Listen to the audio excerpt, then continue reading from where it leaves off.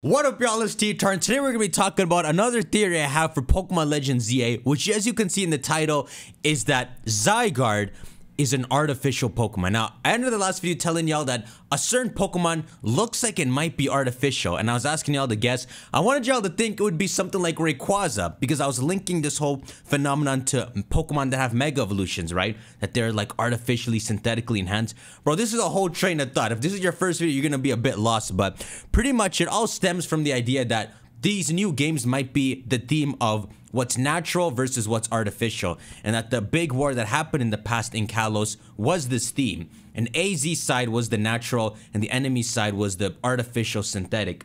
And you know, when I was first talking about this war, so of course, as I think about this more and more, my idea is developing. So I have some changes to make to the story we've put forward, which is that I was initially saying that when it was AZ side versus the opposing side, that AZ side might have had Mega Evolution because that's what Kalos is about, and the other side had the synthetic Pokemon.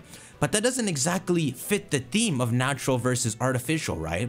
So what would make more sense is that AZ side had fully organic Pokemon, no enhancements at all, just raw Pokemon, and the other side had both synthetic Pokemon and Mega Evolution. And so that would kind of put them in the lead. So that's like the first layer to this. But the second thing I want to talk about is, so this theory about Zygarde being artificial, it stems from the first idea we were having, which is that this game could introduce an ABC trio to counterpart the XYZ trio, right?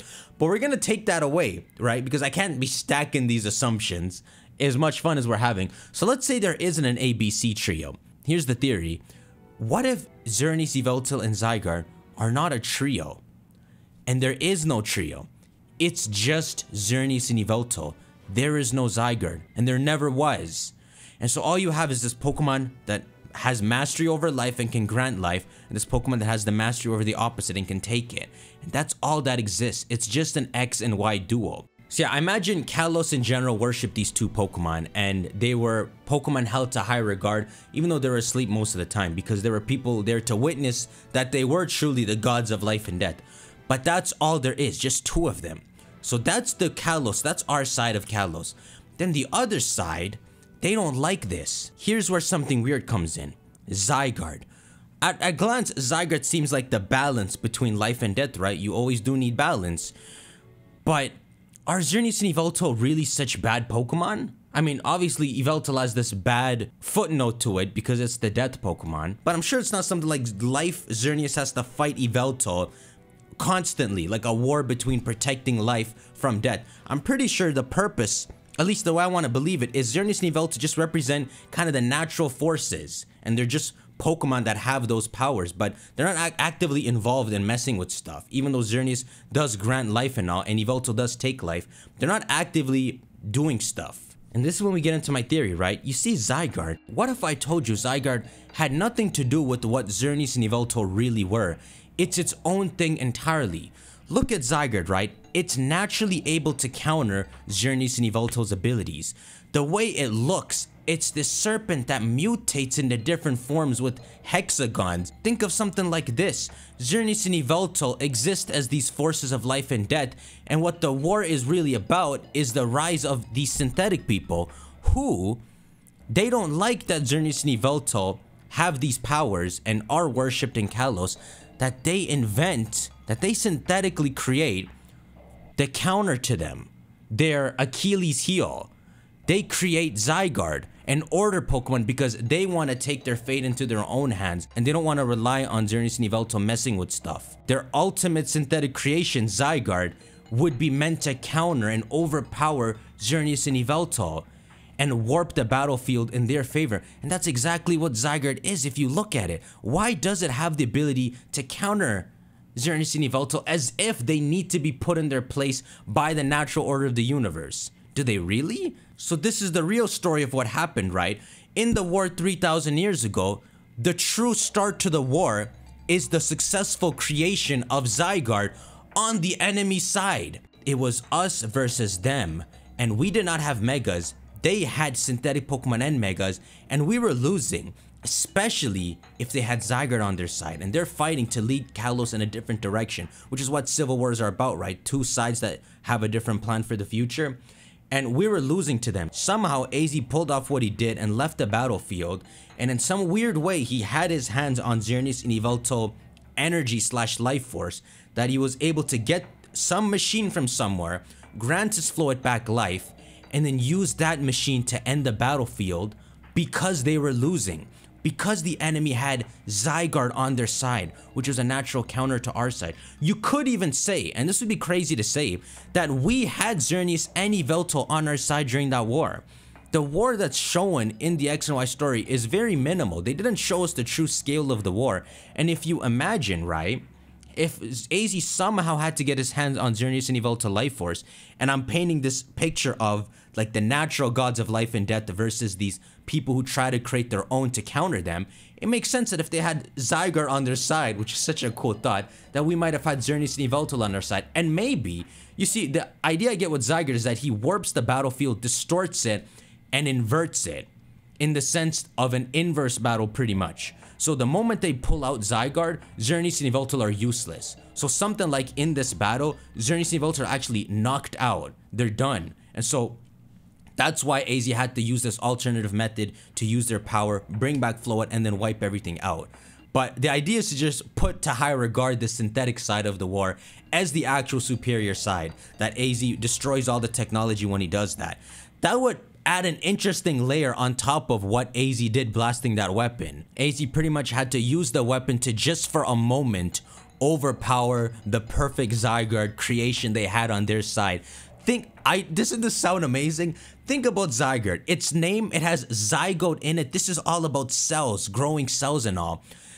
It doesn't sound right at first to disassociate Zygarde from Xerneas and Yveltal as like the balance between life and death.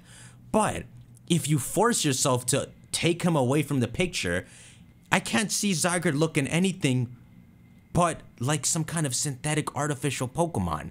Like freaking Cell. He looks like he was grown in a lab. Specifically to counter Xerneas and Yveltal.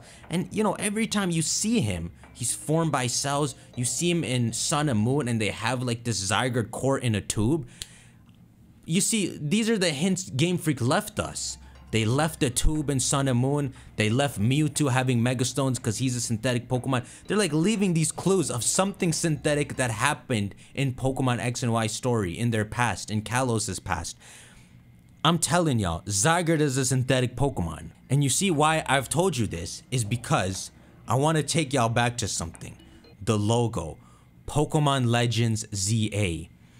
The it's Zygarde and AZ's clash 3,000 years ago. This brings a second meaning to the title, and this is without introducing my weird idea of introducing a new ABC tree of legendary. I've so told you the story with only the Pokemon we have. Xerneas and on our side, Zygarde on their side. The second meaning to the title is the ancient days when AZ defeated Zygarde at the end of the war using that weapon and this game would tell us more about that war and that that is what actually happened.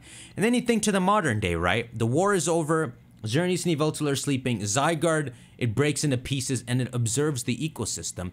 It's like carrying out the purpose it was made for. Now, even though the people who made him are gone, it's still carrying out their heart of what they wanted for Kalos, which was something that would protect the ecosystem. Zygarde isn't the Pokemon that's bad, it was just made to be on their side and counter our life and death Pokemon. But now that everything's done, that's what you're left with, Zygarde just monitoring the ecosystem. And you gotta find how cool it is that because X and Y story was left unfinished, that you never got to see, first off, you never got to see AZ really talk about Xerneas and Yveltal, but at least we know he's interacted with them in some form because he had their energy when he made the weapon. But something you completely never get to see is AZ mention or say anything about Zygarde. There's like some interesting potential there. AZ's been wandering for 3,000 years. Zygarde was born 3,000 years ago. In a weird way, they are their ultimate enemies. Not that they would fight today if they met each other, but they did fight 3,000 years ago because both of them have a good heart at this point. But yeah, and that's also why when depicting the A portion of ZA in that title, they use the ultimate weapon because that was the true final clash. AZ and the Ultimate Weapon versus Zygarde, and that's what ends the war. Now, there's some crazy implications to this story I just told you, and I wanted to leave it a bit blank so y'all could have some fun thinking about it first, but that's what I wanted to tell y'all. That's my theory. Make sure y'all shank that like button. What do you think? Do y'all believe me? Do you think Zygarde could be this synthetic Pokemon, or do you think it's a natural Pokemon that balances life and death? The more I think about it, I can't escape this thought in my head that it is synthetic. Pretty much Zygarde's monitoring the earth and protecting it right now, but from our perspective, at one point, it was the bad Pokemon. And AZ probably knows it's still out there somewhere. Even though, has he met it? Has he not met it? If he hasn't met it, that'd be really cool. Even if he has met it, it'd be cool. Wouldn't it be cool if this wandering man, at one point, he goes into the cave, checks up on Zygarde, and he keeps wandering? as if they are cool at the end of the day now that the war is over. I don't know, man. I love these ideas. I'm gonna keep telling y'all them. Make sure to shank that like button next. I'm either gonna talk about what I left blank here or I'll talk about the starters. So I'll see y'all in the next one. Take care.